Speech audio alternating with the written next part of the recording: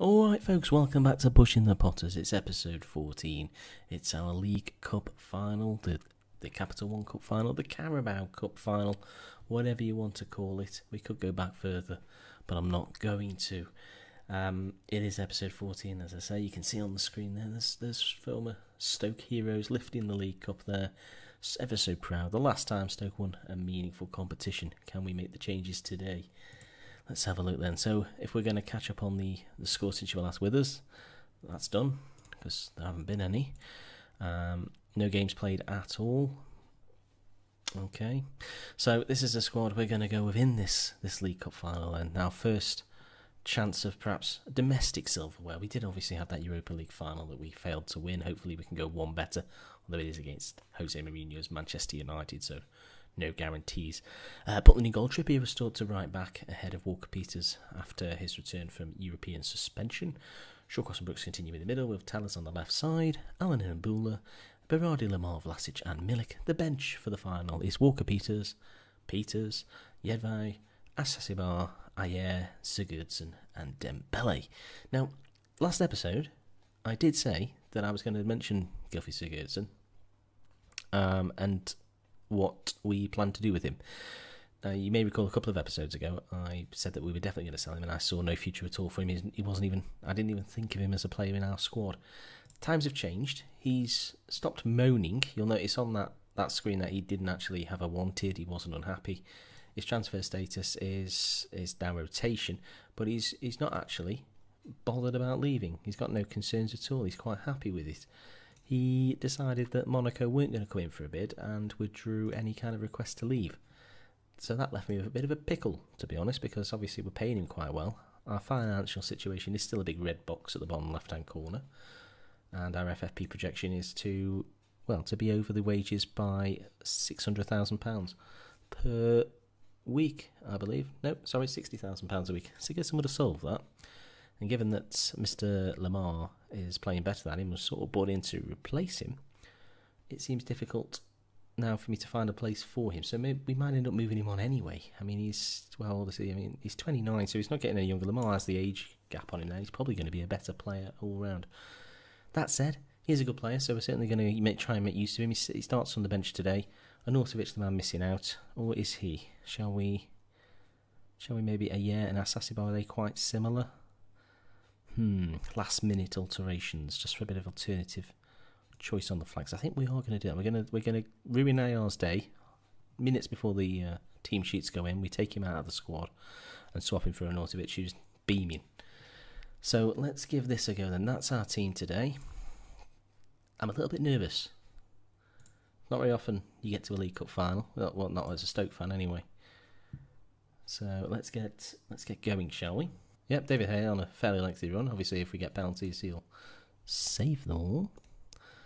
It's a good to not involved. So let's see. We're going to play on the counter system to start with, at least. And if we have to change it up, we we have to change it up. But realistically, if we go behind to Manchester United, we are probably going to struggle to get back into it. So let's hope we can do the job today.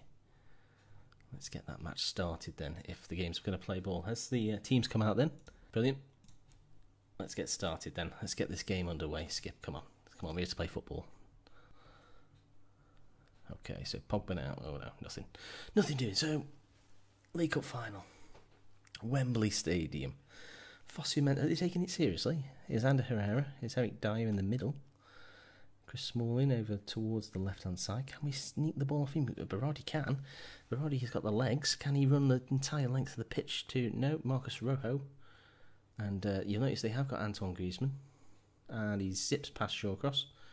Crossed in Ander Herrera. Hits the post. We've got a reprieve. That would have been a, a disaster. A disaster start there, really, to get behind 10 minutes. Jack Butland will take this free kick, launched up towards Milik, who wins the header. Berardi on the right side. Loses out to Paul Pogba. He sort of ran into uh, trouble there, but Brooksy brings down the ball. Uh, Marcos Rojo seems to be everywhere. Pogba now. Still Griezmann on this left side he's got the ability to take the game away from us as, long, as though they didn't have enough quality uh, in the rest of the, t- the teammate. Theo. I have a cat called Theo. Hopefully that's not him. And Paul Pogba just decides to score from absolutely nowhere. I don't know who Theo is.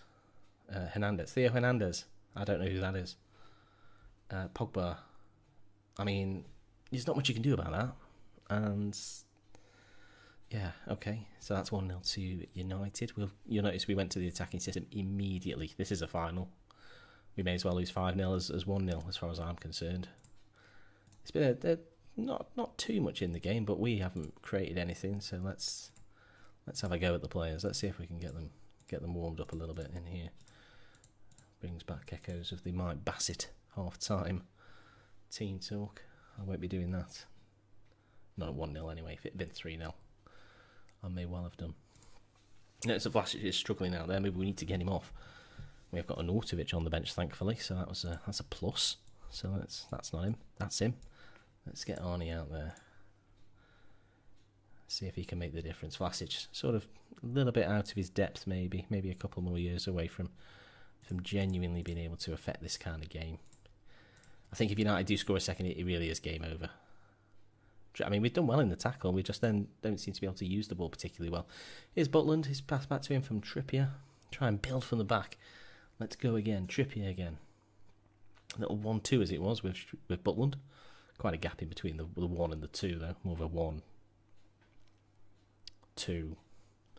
And yeah, we've lost the ball again. Pogba lays it up forward to Martial. I think he's come on for Griezmann. Rashford's undone. The uh, Griezmann's on the right side. Crosses. They're queuing up, and that probably is game already. It's difficult to see us coming back from this. We're going to take Yal Allen off. We're going to move Asasi Bar in field, and we're going to bring Sigurdsson on because, quite frankly, that's as far as I'm concerned, that's sadly game over. I've wasted a suit. It's got to be dry clean now. Wish I hadn't bothered. It's expensive. Anyway, Butland will pick up this uh, that cross. I thought Pogba was going to make it three, in which case the Mike Bassett treatment really would be coming out. Here's Arnautovic. Asasavar spreads it out right to Berardi. Sigurdsson. I thought it was a terrible pass, but it turned out okay. You see how we're getting bogged down in midfield here? I'm not overly sure how to correct it as Arnautovic dallies and Pog- Pogba's been the man today, but Imbula's done well there, showing him he can mix it just as well. Can Sigurdsson no, he can't, but Berardi can. It's 2 1. You never know. We've got 21 minutes. Can we get back into it properly? I mean, we've broken that, that goal scoring run, or rather, non goal scoring run of De Gea. It's a good save, that, wasn't it? Jeez, how did he manage that? It's a bit unlucky to see it fall straight to the feet of Berardi. But uh, we won't complain about that. We have the goal. And you never know, we may just be able to sneak an extra time. But I mean, we don't deserve it, do we? But you take your chances in uh, in cup finals, and uh, I'll just hope really. Right, five minutes to go. I don't know. Time's evaporated. It's just gone, people. It's just time's gone. There's there's seconds seconds remaining. Is this enough time? Fifty seconds. I have my doubt. It seems a bit long for a pointless highlight at the end. You never know. Milik tackled well by Smalling. That that really is it. It's Griezmann. It's got to be now. It's got to be now. Who's there? Pogba, of course. Pogba. Who's everywhere? Paul Pogba. PP. Trippier. Thirty seconds. It's got to be launched. Milik needs to win that. He does not. Berardi plays it back to but right. Come on. This is it. We've got ten seconds to to get on De Gea's goal and shoot. Five, four seconds. Come on, boys. Where are you going? Don't dally. Die. Okay, well done, Man United. That's two finals that we've lost now. I was hoping that would be that was uh, a bit unlucky. You know, Man United deserved it. Okay, well that, that's that's just the way the, the cookie crumbles. There'll be no cup parade. Um, Vlasic injured. He picked up a damaged heel in that game. Apparently, I didn't see it. Still, that's uh, that's entirely disappointing. You can see there Manchester United lift the cup. And we paid out £22,000 after receiving 52 So runners up received 52000 Hmm. That pays half of Gylfi's wages pretty much for a year, for a week. So, where did we say we were coming back? We were going to do that second leg against Celtic. Um, the return of Celtic. Now, I, as I said in the uh, the last episode, I fully expect us to be able to dismantle Celtic at home. The one thing about Celtic, though, is while they may lack uh, perhaps a Premiership quality on the pitch, we know they will travel in their numbers because their support is most definitely, definitely Premier League quality. So we have to be prepared for a uh, full house, and we've got to make sure that we're on top of our game. It's vital that we we progress in that Champions League, in my opinion, to in our second season if we can become a Champions League quarter finalist, and and you never know if if I mean let's have a look at these other first legs. Let's see how they went. Um, if Kiev can knock out Leverkusen, I reckon we could take them. You see that Shakhtar really dismantled Real. So if we can get maybe them, that'd be uh, that'd be something to write. And as well, Benfica, of course, we uh, finished above Benfica. They beat PSG. You'd say Copenhagen are probably out of it, as are Club Brugge.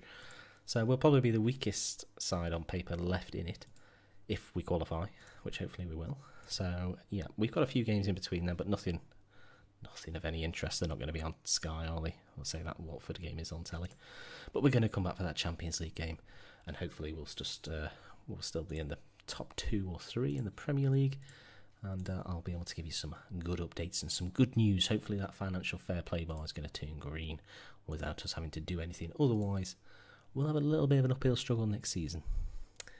Right here then, I would like to thank you very very much for watching. It's an absolute pleasure as always. Do follow me. It's at Knock It Wide on the Twitters. And please do like the video if you've enjoyed and subscribe if you'd like to see more. Thank you very, very much for watching, as I say. I'll see you again soon. Goodbye.